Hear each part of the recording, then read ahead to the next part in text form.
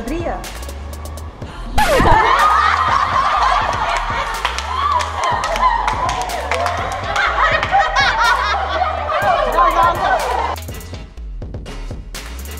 Five, four, three, two, one. Candace! Shahira! Priya! Michelle! Maki! Natalie! Our new set.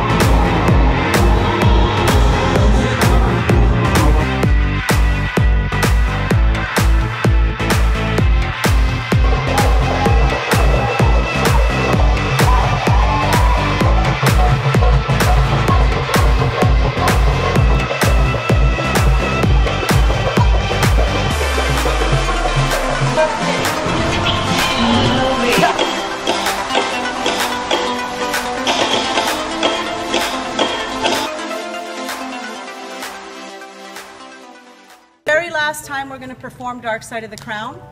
This is a very special show for us, and it's a it's really special to share it with this group. This is really such a such an outstanding group.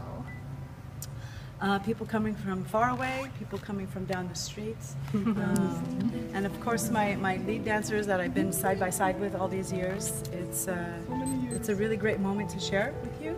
It's very emotional for me. Beautiful story. Uh, Heather became a mother, and she became the queen. So it's uh, extra special, I know, for Heather as well. So, you know, you guys worked really hard. So for you guys personally, this is your first one, uh, and probably your dark, last Dark Side of the Crown, not your last Belly Dance Evolution. But you guys worked really hard this week, and I want you to enjoy it and don't be nervous at all because you guys know the show, you know the choreography, you know the costume changes, you know what you're doing.